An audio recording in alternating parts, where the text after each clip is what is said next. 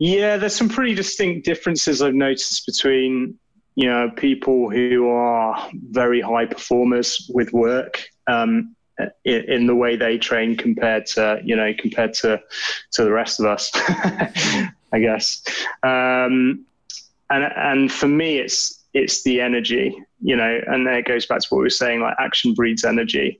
Like these guys will work all day. Like I, actually, I trained. I, I, spent a season out in uh, the French Alps, um, training a uh, an investment broker, and so like this guy would be up first thing.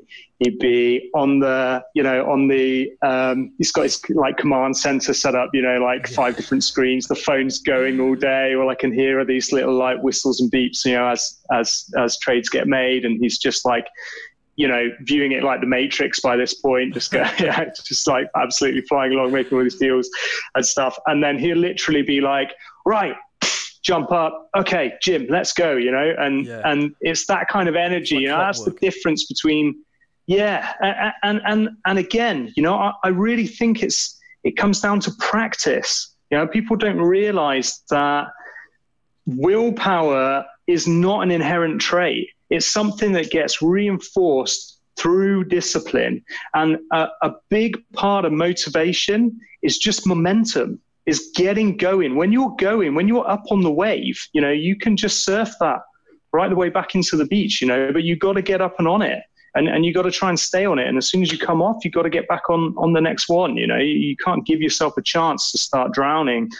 Otherwise, you're going to end up under, you know, underwater. So that's been the, the main difference for me is the, the amount of energy that these guys these guys put in and, and I think another another big part of it is having the predetermined decision made. You know, these guys don't give themselves a chance to negotiate with the option of not doing it. You know, the standard is just higher.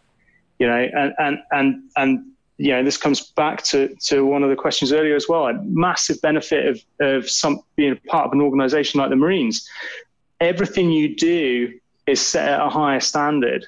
You know, most of the training is bullshit. It's it's making you make your bed every day. It's making you shave every day. It's making you clean your accommodation every day. You know, you're getting picked up for for stuff, and you're just like, yeah, and that's it. You know, that that's the stuff that kind of breaks people because you're like, fuck, man, I came here to be a soldier. You know, I wanted to be, yeah, I, I, wanted to be running through Vietnam.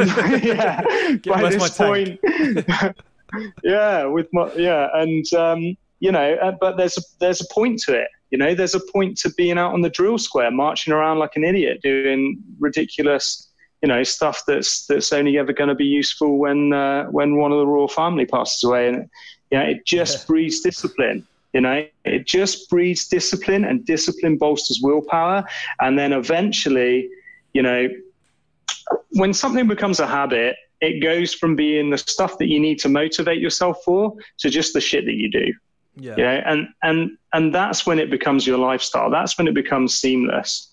And you know, when a, when it's a habit, it's a predetermined decision. You know, it, when you're a guy who's who's um, already made the decision that you're gonna be training today after eight hours of making trades, like you're just gonna do it. You're not gonna get to that point and go, "Oh, I'm not gonna do it anymore." Like that decision's been made because that's the standard and that's just that's your routine.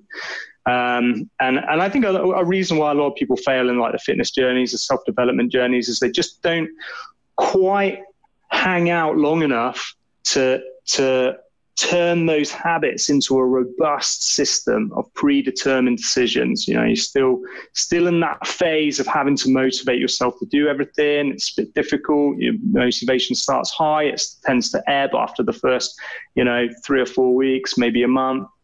Uh, and then right at that point where you're probably in all in all reality on the tipping point of becoming much more efficient at it and not having to think about it all and not having to make those decisions at the time that you're trying not to negotiate with weakness, you know, then they give up. And um, yeah, so